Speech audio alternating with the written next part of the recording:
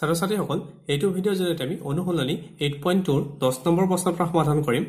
দহ নম্বৰ প্ৰশ্ন দিয়া আছে এজন দোকানীয়ে ছয়শ টকা ছপা মূল্যৰ কামিজ এটাত প্ৰথমে ত্ৰিশ শতাংশ ৰেহাই দিয়াৰ পিছত পুনৰ বিশ শতাংশ ৰেহাই দিলে।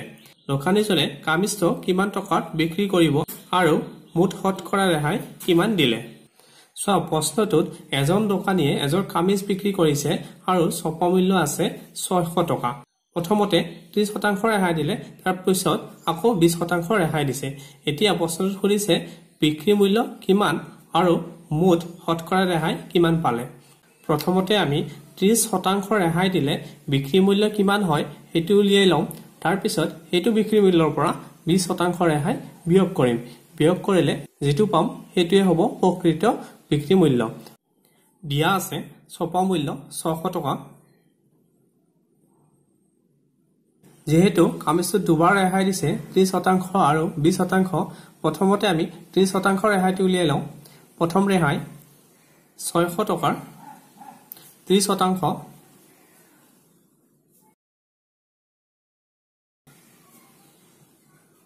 ই শূন্য শূন্য কাটিলো এই শূন্য শূন্য কাটিলো। এইটো আৰু এইটো পূৰণ কৰি পালো এশ আশী টকা। প্ৰথম ৰেহাই দিলে এশ আশী টকা। প্ৰথম ৰেহাইটো বিয়োগ কৰি এতিয়া বিক্ৰী মূল্যটো লৈ লওঁ। ত্ৰিশ শতাংশ ৰেহাই দিলে বিক্ৰী মূল্য হ'ব। ছপা মূল্য বিয়োগ ৰেহাই ছপা মূল্য আছিল ছয়শ আৰু ৰেহাই এশ আশী। এইটো বিয়োগ কৰি আমি পালো চাৰিশ বিশ টকা।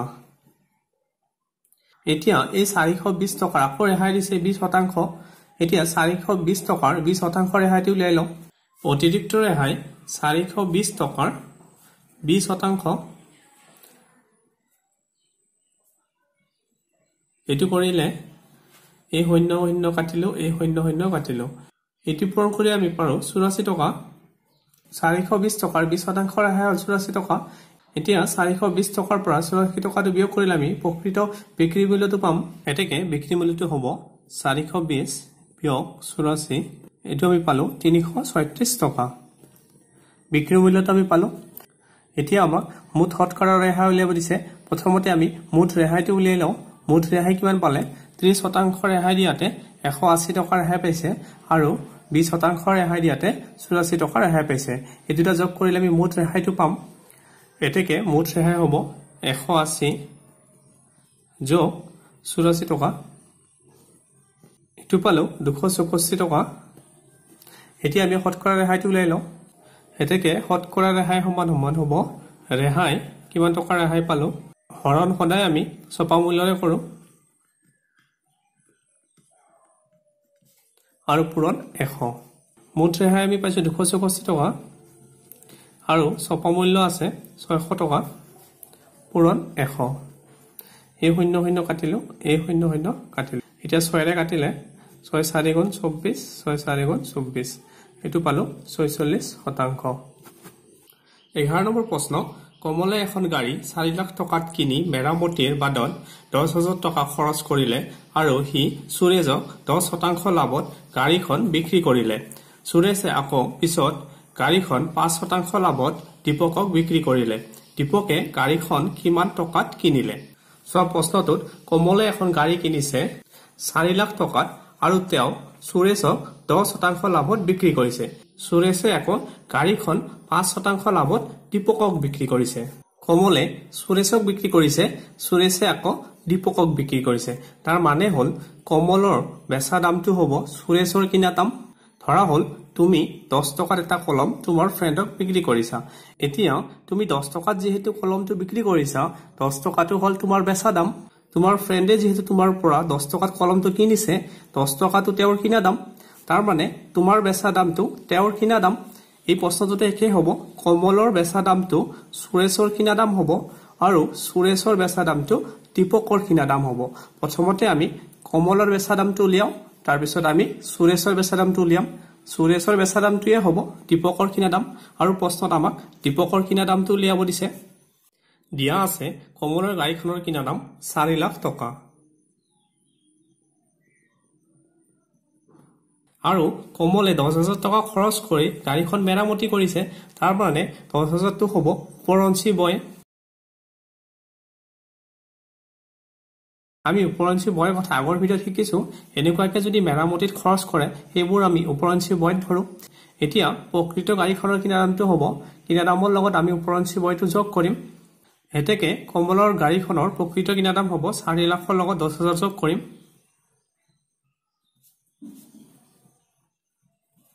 এইটো পালোঁ চাৰি লাখ দহ হাজাৰ টকা। আৰু কমলে গাড়ীখন দহ শতাংশ লাভত বিক্ৰী কৰিছে। লাভৰ শতাংশ হ'ব দহ শতাংশ। এতিয়া কমলৰ গাড়ীখনৰ কিনা দাম পালোঁ আৰু লাভৰ শতাংশ দিয়া আছে। এতিয়া আমি কমলৰ গাড়ীখনৰ বেচা দাম উলিয়াওঁ।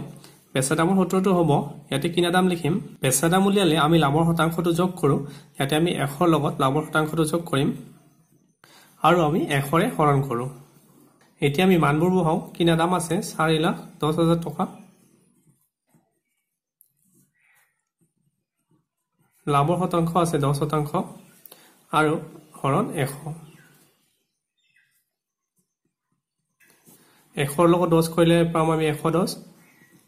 এই শূন্য শূন্য কাটিলোঁ এই শূন্য শূন্য কাটিলোঁ। এতিয়া আমি এই দুটা পূৰণ কৰিম একচল্লিছ আৰু এঘাৰটো পূৰণ কৰি আগত। এইটো পালোঁ ফ'ৰ ফিফটি ওৱান ইয়াতে তিনিটা জিৰ' আছে তিনিটা জিৰ' লিখি দিম। আমি পালোঁ কমলৰ গাড়ীখনৰ বেচা দাম চাৰি লাখ একাৱন্ন হাজাৰ টকা। এই চাৰি লাখ একাৱন্ন হাজাৰ টকাটো সুৰেশৰ কিনা দাম হ'ব। যিহেতু কমলে গাড়ীখন সুৰেশক বিক্ৰী কৰিছে কমলৰ বেচা দামটো হ'ব সুৰেশৰ কিনা দাম। এতেকে লিখি লওঁ সুৰেশৰ কিনা দাম। সুৰেশৰ গাড়ীখনৰ কিনা দাম হ'ব চাৰি লাখ একাৱন্ন হাজাৰ টকা। সুৰেশে গাড়ীখন পাঁচ শতাংশ লাভত বিক্ৰী কৰিছে। লাভৰ শতাংশ হ'ব পাঁচ লাভৰ শতাংশ লিখিছোঁ পাঁচ শতাংশ। এতিয়া আমি সুৰেশৰ কিনা দাম পালোঁ আৰু লাভৰ শতাংশ পালোঁ। এতিয়া আমি সুৰেশৰ বেচা দামটো উলিয়াওঁ। সেতেকে সুৰেশৰ গাড়ীখনৰ বেচা দাম। বেচা দামৰ সূত্ৰটোত আমি সদায় কিনা দামটো লিখোঁ আগতে। পূৰণ এশ যোগ যিহেতু লাভত বিক্ৰী কৰিছে আমি যোগ কৰিম লাভৰ শতাংশটো। আৰু সেইটো আমি ওপৰত লিখোঁ। আৰু আমি হৰণ এশৰে কৰোঁ। এতিয়া মানবোৰ বহাওঁ কিনা দাম আছে চাৰি লাখ একাৱন্ন হাজাৰ টকা। এশ যোগ লাভৰ শতাংশ আছে পাঁচ আৰু হৰণ এশ। এশৰ লগত পাঁচ যোগ কৰিলে পাম এশ পাঁচ হৰণ এশ। এই শূন্য শূন্য কাটিলোঁ এই শূন্য শূন্য কাটিলোঁ। এতিয়া আমি এইটো পূৰণ কৰি লওঁ।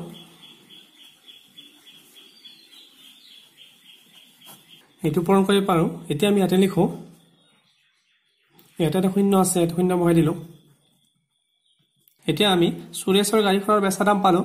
সুৰেশে যিহেতু গাড়ীখন দীপকক বিক্ৰী কৰিছে তাৰমানে দীপকৰ এইটো কিনা দাম হ'ব। এতেকে দীপকে গাড়ীখন চাৰি লাখ তিয়াত্তৰ হাজাৰ পাঁচশ পঞ্চাছ টকা কিনিলে।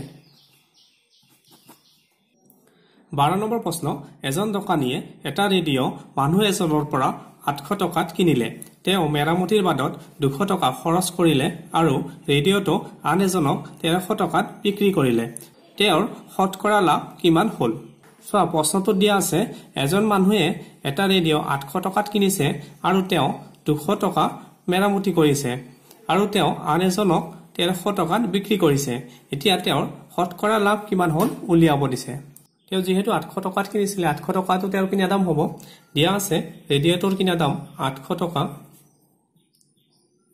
আৰু তেওঁ দুশ টকাত যিহেতু মেৰামতি কৰিছে এই দুশ টকাটো হ'ব ওপৰঞ্চি বয়। ওপৰঞ্চি বয় দুশ টকা। আমি পালোঁ কিনা দাম আৰু ওপৰঞ্চি বয়। এই দুটা যোগ কৰিলে আমি প্ৰকৃত কিনা দামটো পাম। সেতেকে ৰেডিঅ'ৰ প্ৰকৃত কিনা দামটো আঠশ যোগ মেৰামতিৰ খৰচ দুশ। এইটো হ'ল এক হাজাৰ টকা। আৰু প্ৰশ্নত ৰেডিঅ'টোৰ বেচা দাম দিয়া আছে তেৰশ টকা ইয়াত লিখিছোঁ ৰেডিঅ'টোৰ বেচা দাম তেৰশ টকা আমি দেখিলোঁ কিনা দামটো এক হাজাৰ টকা আৰু বেচা দামটো তেৰশ টকা। যিহেতু বেচা দামটো কিনা দামতকৈ ডাঙৰ সেইকাৰণে লাভ হ'ব লাভটো উলিয়াই লওঁ প্ৰথমতে। লাভ সমান সমান বেচা দাম বিয়োগ কিনা দাম। বেচা দাম আছে তেৰশ টকা আৰু কিনা দাম আছে এক হাজাৰ টকা। এইটো বিয়োগ কৰি আমি পালোঁ তিনিশ টকা। লাভ পালোঁ আমি। তিনিশ টকা। এতিয়া শতকৰা লাভ উলিয়াই লওঁ। শতকৰা লাভ হ'ব। লাভ। কিমান টকা লাভ পালোঁ সেইটো ওপৰত লিখিম। আৰু হৰণ আমি সদায় কিনা দামেৰে কৰোঁ আৰু পূৰণ এশ। লাভ পাইছোঁ আমি তিনিশ টকা। কিনা দামটো প্ৰকৃত কিনা দামটো ধৰিব লাগিব। এইটো আছে এক হাজাৰ টকা। আৰু এশ। এইটো পালে আমি ত্ৰিশ শতাংশ। এতেকে শতকৰা লাভ হ'ব ত্ৰিশ শতাংশ। তেৰ নম্বৰ প্ৰশ্ন মৃগমে বাৰশ টকাৰ এটা ইস্ত্ৰি কিনিলে। যাতায়াতৰ বাদত তেওঁৰ চল্লিছ টকা খৰচ হ'ল। তেওঁ কিমান টকাত ইস্ত্ৰিটো বিক্ৰী কৰিলে? লাভ পঁচিছ শতাংশ হ'ব। চোৱা প্ৰশ্নটোত মিগেনৰ কিনা দামটো দিয়া আছে আৰু যাতায়াতত চল্লিছ টকা খৰচ হৈছে এইটো দিয়া আছে আৰু লাভৰ শতাংশটো দিয়া আছে। আৰু যদি পঁচিছ শতাংশ লাভত বিক্ৰী কৰে তেতিয়া বিক্ৰী মূল্য কি হ'ব উলিয়াব দিছে। দিয়া আছে। ষ্ট্ৰীটৰ কিনা দাম বাৰশ টকা। যিহেতু চল্লিছ টকাটো যাতায়াতৰ বাদত খৰচ কৰিছে চল্লিছ টকাটো হ'ব ওপৰঞ্চি বয়। ওপৰঞ্চি বয় লিখিছোঁ চল্লিছ টকা। সেনেকে ষ্ট্ৰীটৰ প্ৰকৃত কিনা দাম হ'ব আমি কিনা দামৰ লগত ওপৰঞ্চি বয়টো যোগ কৰিম। বাৰশ যোগ চল্লিছ সেইটো পালোঁ বাৰশ চল্লিছ টকা। প্ৰশ্নত লাভৰ শতাংশ দিয়া আছে পঁচিছ শতাংশ। আৰু আমাক বেচা দাম উলিয়াব দিছে। বেচা দামৰ সূত্ৰটো ব্যৱহাৰ কৰোঁ। বেচা দাম সমান সমান। বেচা দাম উলিয়াব দিলে আমি ইয়াত কিনা দাম লিখোঁ। আৰু পূৰণ। এশ। যিহেতু লাভৰ শতাংশ দিছে আমি লাভৰ শতাংশটো যোগ কৰিম। আৰু এইটো আমি ওপৰত লিখিম। আৰু আমি হৰণ এশৰে কৰোঁ। এতিয়া মানবোৰ বহাওঁ কিনা দাম আছে বাৰশ চল্লিছ টকা। লাভৰ শতাংশ আছে পঁচিছ শতাংশ। আৰু হৰণ এশ। এশৰ লগত পঁচিছ যোগ কৰিলে এইটো পাম আমি এশ পঁচিছ। এইটো পঁচিছেৰে কাটো। পঁচিছ পাঁচ গুণ এশ পঁচিছ পঁচিছ চাৰি গুণ এশ। চাৰিৰে যদি কাটো চাৰি তিনি গুণ বাৰ চাৰি গুণ চাৰি। এইটো পূৰণ কৰিলে আমি পাম। এক হাজাৰ পাঁচশ পঞ্চাছ টকা। যিহেতু প্ৰশ্নত আমাক সুধিছিলে কিমান টকাত বিক্ৰী কৰিলে পঁচিছ শতাংশ লাভ হ'ব। স্ত্ৰীটো এক হাজাৰ পাঁচশ পঞ্চাছ টকাত বিক্ৰী কৰিলে পঁচিছ শতাংশ লাভ হ'ব।